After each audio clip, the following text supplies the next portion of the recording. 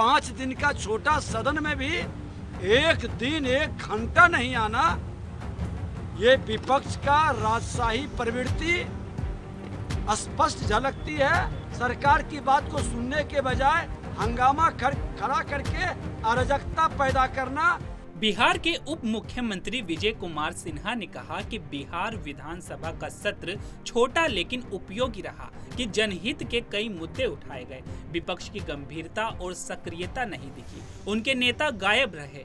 हर छोटे मुद्दे पर सरकार की बात सुनने के बजाय हंगामा करना, अराजकता फैलाना, विधानसभा की गरिमा को गिराना, विपक्ष का यह कृत्य सदन के हित में नहीं था। नेता प्रतिपक्ष का सदन में अनुपस्थित रहना दुखद और दुर्भाग्यपूर्ण है। पाँच दिनों के छोटे सत्र में एक दिन, एक घंटे भी नहीं, आना विपक्ष की राजशाही प्रवृत्ति को दर्शाता है। वहीं बिहार के उप मुख्यमंत्री विजय कुमार सिन्हा ने आगे क्या कुछ कहा, देखे वीडियो। बिहार विधानसभा का सत्र छोटा छोटा था, लेकिन उपयोगी था। जनता के हित के कई विषय को सदन के अंदर उठाया गया। विपक्ष की जिम्मेवारी दिखाई नहीं पड़ी। इनकी गंभीरता, सक्रियता नज़र नहीं आई क्योंकि उनके नेता ही गायब थे और बिना इंजन के डब्बा डिलेल हो रहे थे। हर छोटे छोटे विषय पर सरकार की बातों को सुनने की बजाय हंगामा करना, अराजकता पैदा करना विधानसभा की गरिमा को गिराना, ये विपक्ष का हरकत कहीं से सदन के अनुकूल नहीं था।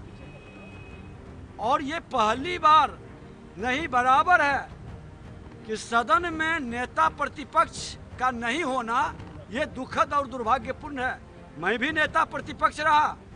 शत प्रतिशत सदन में मेरी उपस्थिति रहती थी, पूरे समय उपस्थिति रहती थी। लेकिन ये पाँच दिन का छोटा सदन में भी एक दिन एक घंटा नहीं आना।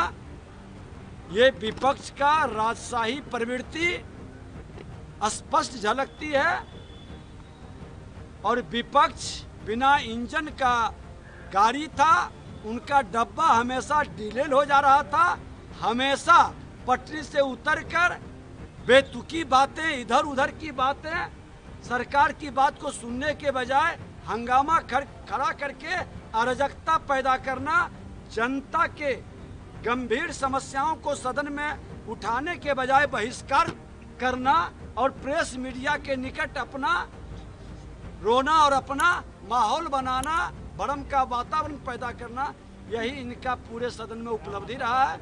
यह लोकतंत्र के लिए कहीं से शुभ नहीं है।